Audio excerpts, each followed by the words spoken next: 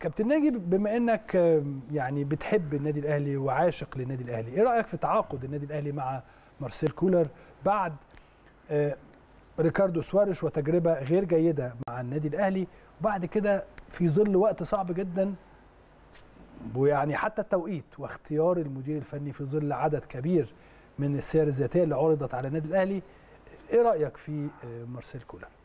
أعتقد انه إنه النادي الأهلي المرة دي تروى بما فيه الكفايه أيوة. في اختيار. المدير الفني.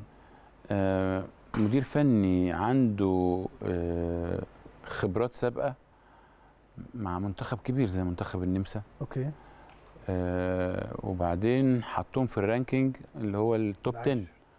ال top 10 دي حاجة جامدة جدا يعني مش حاجة لأن في البرازيل والأرجنتين وبلجيكا وفرنسا وإيطاليا. وفر...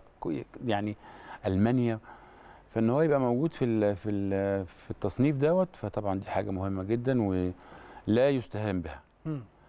آه، أعتقد إن شخصيته فيها يعني في ال في ال body language اللي أنا شفته في آه. سواريش وفي كولر مختلف. يعني في هدوء وفي اتزان وفي يعني, يعني تقدروا بلغة الكوره؟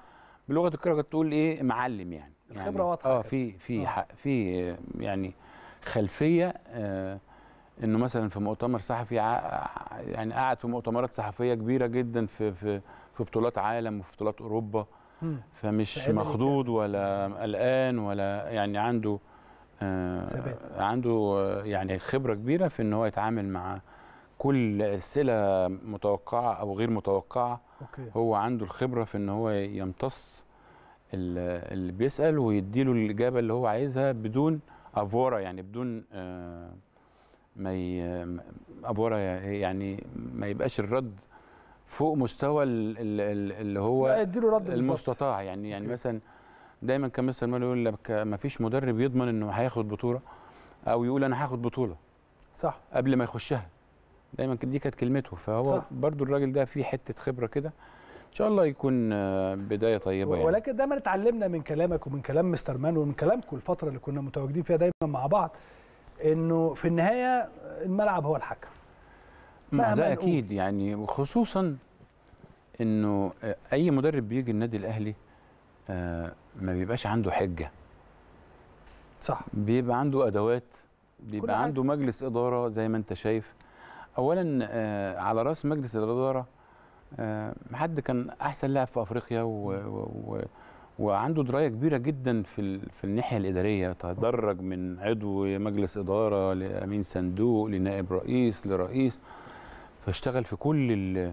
نواحي ال- الإدارية. النواحي الإدارية وع- وكذلك مجلس الإدارة هو اللي مختارهم بعناية جدا فلا بيوفروا يعني ساعات بقى أنا بحس أقول إيه كابتن اتدخل يعني اتدخل بقى دلوقتي فما يتدخلش لأن هو عنده مبدأ إنه انه كل واحد بي. بي بيشتغل في المنطقة اللي هو شغال فيها وعنده الحرية كاملة مم. حتى في اختيار الأجهزة المدرب بيجي يقول أنا عايز جهازي كامل فهو ما بيتدخلش عشان لما يجي يحاسب. فأعتقد إن إن الفترة الجاية آه، اللعيبة ارتاحت كويس آه، مدرب خبرته واضحة جهاز فني يعني هو اللي مختاره وإن شاء الله تبقى بدايه كويسة من السنة الجاية. هل من وجهة نظر حضرتك يقدر يتأقلم سريعا على ضغط النادي الأهلي على جمهور النادي الأهلي وضغطه لا ما هو الفرق بين سوارش وكولر كولر إنه سوارش اشتغل في في نص الجدول الثاني.